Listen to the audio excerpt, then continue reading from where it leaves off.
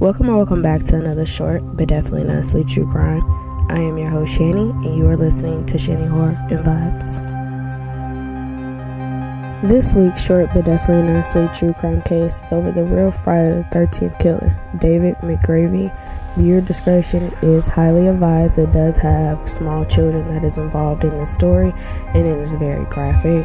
If that is not something you're into, I completely understand. I have plenty of episodes you can go back and check out, and then we'll just come back and talk at the next episode. This is the story of the Friday the 13th killer. David McGreavy was born in 1951 in Southport, Lancaster. He had five siblings, and their family moved around a lot due to his father being in the Army.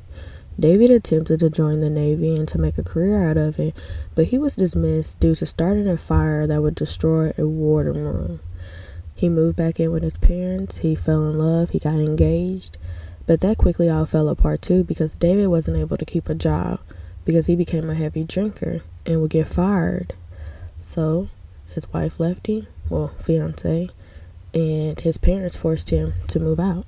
In 1972, David moved in with his friend Clive and his wife Elsie. They had a small family of three children Paul, who was four, Don, who was two, and Samantha, who was eight months old. Since Clive worked long hours as being a driver and Elsie returning back to work, David was there to help babysit the kids while both of the parents were gone. On April Friday the 13th in 1973, Clive left the house with the children sleeping in the car because he was on his way to pick up Elsie from work that night. But instead, he stopped to pick up David first, who was very drunk from a bar. He took David and the children home and then left back out to go pick up Elsie from work. When Elsie returned back home, their neighborhood was surrounded by cops. They didn't know what was going on, and nor did they think that the cops were at their house.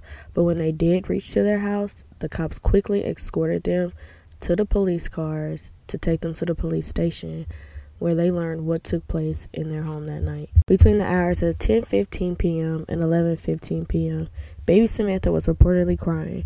David could not handle Samantha crying. He began violently attacking Samantha, leaving her with skull fractures. He then slit two-year-old Don's throat and strangled four-year-old Paul. But that wasn't the end of what David did to these poor babies.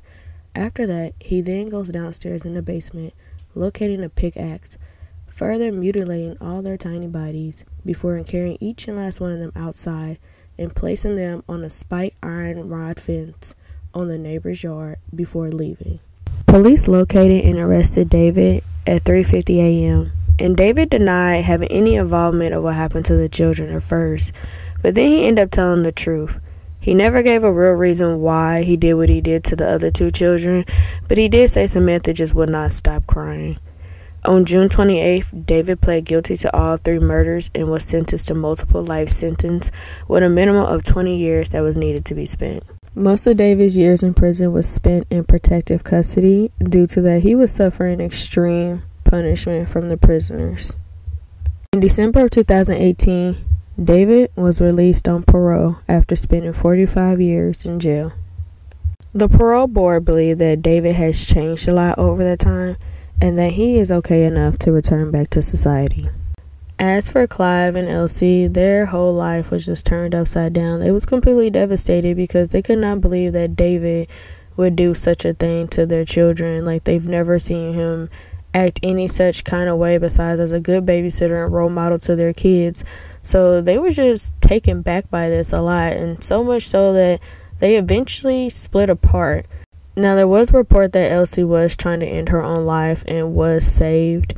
She stated that every day that she wakes up, she has to relive this nightmare of what David did to her children, which is just completely heartbreaking. And there's no way for nobody to even say they understand how she feels because nobody will understand how she feels to have three children taken away from her by somebody she trusted in their home.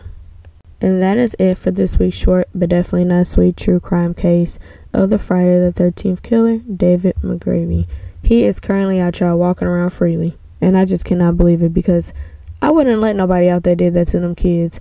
He's had time to stop and think what he was going to do to each and last one of those kids. It wasn't like they all suffered the same fate. He did something different to each and last one of those kids, which means you thought about it. You took time to think about what you were going to do next.